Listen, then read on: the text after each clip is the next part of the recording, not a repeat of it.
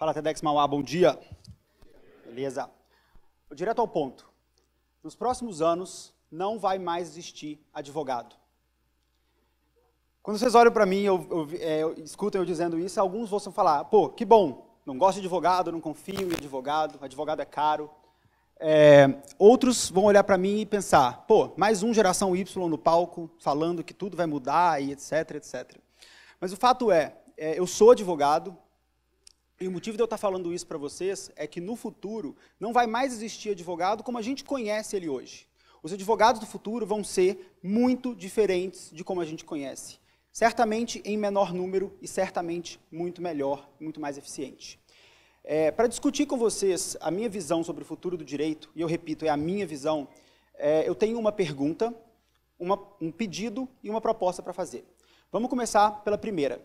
Como que a gente faz para transformar uma área que é tão conservadora num mundo que está girando tão rápido, está evoluindo tão, de forma tão dinâmica. É, outro dia eu ouvi uma frase que muito interessante, eu não consegui localizar o autor, porque ela já foi retraduzida e adaptada algumas vezes, mas fato é, a gente não está vivendo uma era de mudanças, e sim uma mudança de era. E olhar para isso nos faz entender a magnitude do momento em que a gente está vivendo. Nos últimos anos, é, a gente se a gente olhar para o que aconteceu nos últimos anos, a internet ela mudou a forma como a gente acessa a informação, como a gente se comunica e como a gente trabalha. Hoje, com o celular na mão, é possível contratar e oferecer serviços. É possível, isso muda o jogo. O mundo hoje é completamente conectado e digital.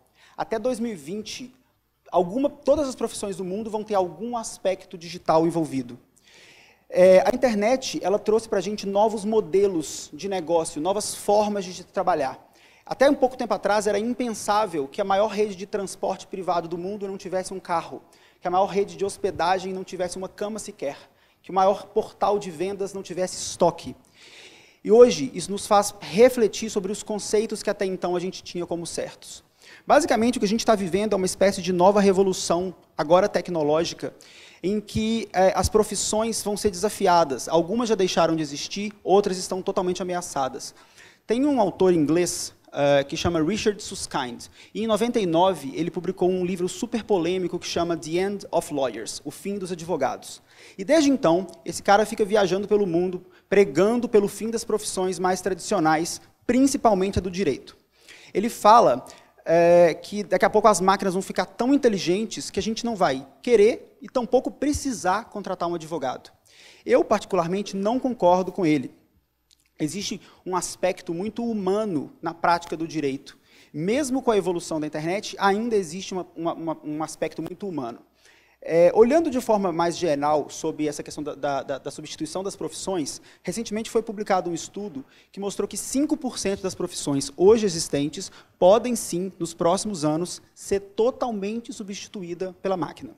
No caso dos advogados, em especial, é, a, a, MIT e a Universidade da Carolina do Norte, lá nos Estados Unidos, eles pesquisaram e mostraram que 13% das atividades dos advogados americanos já pode e algumas já estão sendo substituídas por máquinas. No caso do Brasil, esse número é um pouquinho maior, mas ainda assim, a pergunta que fica é: os advogados então estão numa posição de conforto diante dessa, desse fato? Absolutamente não. O que, que acontece? Nos, últimos, nos próximos 20 anos, a gente vai viver muito mais transformação no direito do que a gente viveu nos últimos 200. Até agora, grande, é, a grande virada no direito no mundo foi a impressora, foi a impressão barata. Foi tirar o, o livro como um artigo de luxo e transformar o conhecimento disponível a todos. A internet fez basicamente isso. E hoje, é, o que acontece é uma transformação total na forma como as pessoas trabalham. Eu costumo comparar o, a evolução do direito e a transformação do direito com o aquecimento global, para ficar mais fácil de entender. A gente sabe que ele existe, a gente escuta falar, mas a gente não vê os efeitos dela o tempo todo na nossa pele, a gente não sente isso a todo momento. A questão é, para os dois casos, o ponto de virada está muito, mas muito mais próximo do que a gente imagina. No caso do aquecimento global, é, o, a próxima página é uma página um pouco caótica. No caso do direito, por outro lado, é uma página de absoluta oportunidade. Não sei se vocês repararam, mas meu sotaque, eu não sou daqui. Eu nasci e cresci em Belo Horizonte, E eu, lá eu estava trabalhando como advogado de uma grande empresa. E aí, é, por perceber essa mudança, por perceber essa oportunidade, eu falei, eu quero fazer parte disso de forma ativa. Eu quero estar na frente, é, tocando essa transformação no Brasil.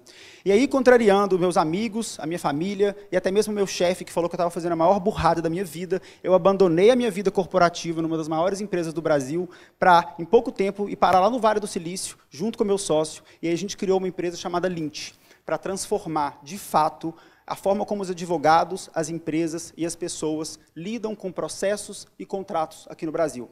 Hoje, a gente está fazendo as empresas economizarem tempo e dinheiro. O que a gente acredita é que os advogados podem sim ser menos operacionais e mais estratégicos.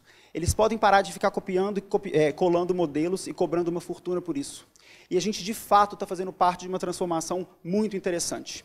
O legal disso é ver que a gente não está sozinho e que existe um movimento grande de pessoas inovando no direito. Se a gente olhar para o lado, é muito fácil perceber que as coisas estão ficando mais fáceis. Antigamente, para pegar uma certidão, a gente tinha que ficar horas numa fila, certidão eleitoral, certidão de distribuição, etc. Para consultar um processo, você tinha que ir até o fórum. Para abrir um processo, você tinha que pedir um advogado para fazer isso. Hoje em dia, a internet permite que a gente consulte os, os, nossos dados, a gente abra processos, ou sequer nem abra, a gente pode simplesmente resolver os nossos conflitos online. Existe uma tendência muito forte para que a gente crie, negocie e assine contratos usando a internet. E eu poderia ficar aqui horas dando exemplo de pessoas. Por exemplo, hoje tem sites incríveis que estão conectando pessoas com a justiça, permitindo que a gente encontre e contrate advogados online. Isso reduz a simetria de informação e coloca a informação precisa na mão das pessoas. Se a gente olhar para frente, é, as, os mesmos protocolos, por exemplo, blockchain está revolucionando o mercado financeiro. Essa mesma tecnologia pode acabar com os cartórios aqui no Brasil daqui muito pouco tempo.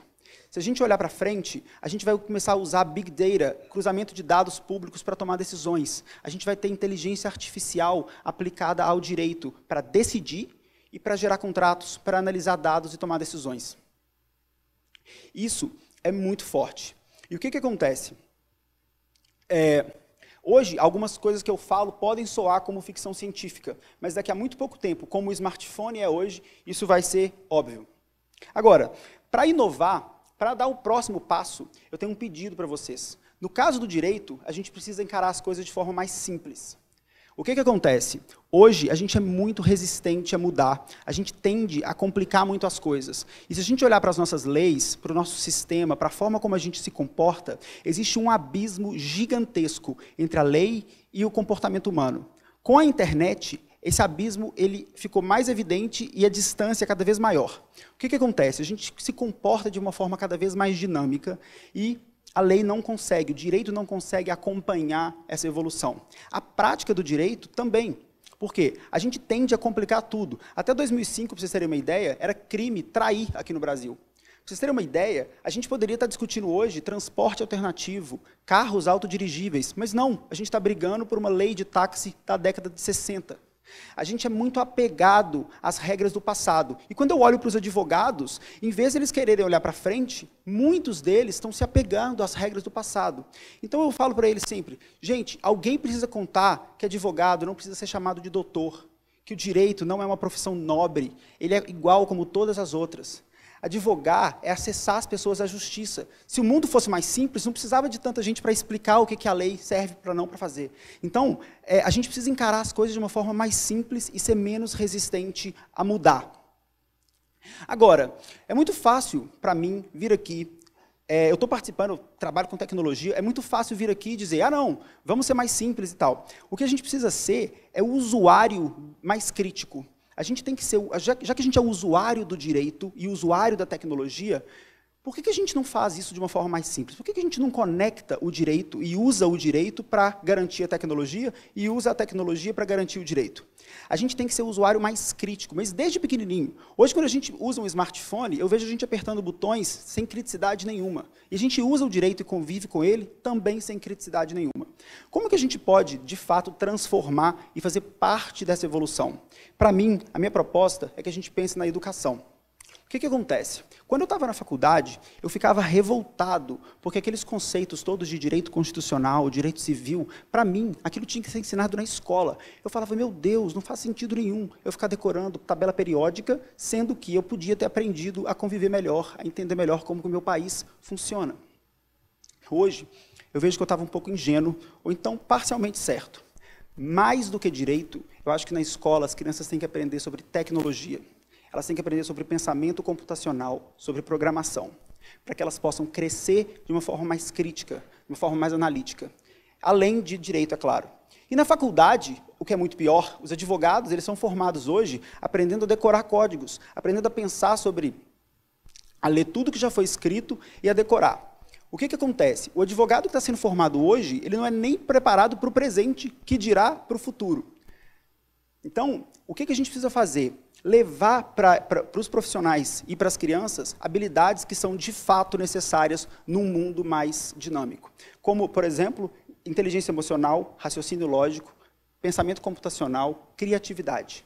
O que a gente precisa, de fato, hoje, não são de advogados que pensem e consigam escrever um contrato, ou então decorar toda a legislação. Isso o computador já faz e vai fazer cada vez melhor.